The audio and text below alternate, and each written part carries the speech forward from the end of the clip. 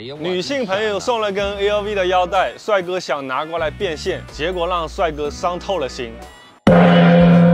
什么业务啊？腰带，这个是干嘛的？回收，回卖对吧？他联系的就是回收的。这哪里买的？别人送的。我这个 LV 腰带嘛。嗯，我也不带嘛，太大了，然后就是戴不上。想出多少两千五到三千。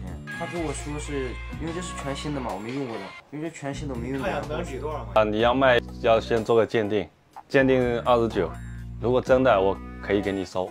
鉴定还收费啊？对呀、那要是假的这种，鉴定费太大了。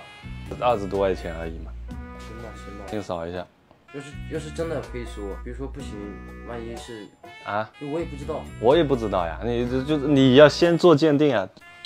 那他有没有跟你说是哪里买的吧？没说，他不是专柜买的，有没有付款记录呢？他他他有票据，但是。先看那个外包装吧，啊，行。先看颜色好吧？你这个是有问题的，你看一下我们所有 LV 后面那个也是 LV 的盒子，你看一下，你这个是偏橘红色对吧？太艳了，一眼都能看出来。就是颜色不对。然后看字体，你看一下正品的字上面的墨整体比较黑的对吧？这两个的 O 是不是正圆形？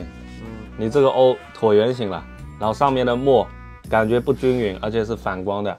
这个票价格也不对啊，港币六千八，这一款没有六千八，LV 不会有这种 POS 单的，这个单也不对啊。哦呦，LV 的纸没有这么软的，很硬的。现在造假都这么专业了。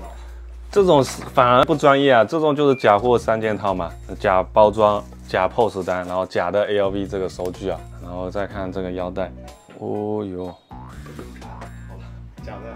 如果假的怎么办了？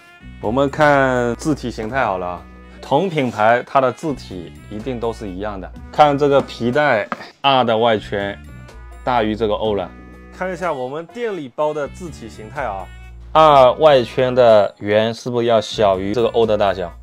那我再找一个其他的包，这种包，你看 R 的外圈的圆是不是要小于这个 O，对吧？哦，还有这个皮带头，五金不能割手的。你这个很割手，你看一下，把我指甲都能割出来了，这个很锋利的，不可能这样设计出来的。正品一定是边缘很光滑的，你可以摸一下，所以你这个就是假的。我是不是刚刚他拿这个盒子你就看出来了？盒子假不代表你这个东西假，有可能是东西是真的，你这个就是所谓的一眼假，很假的那种，假货三件套的那种。这个东西也能做假？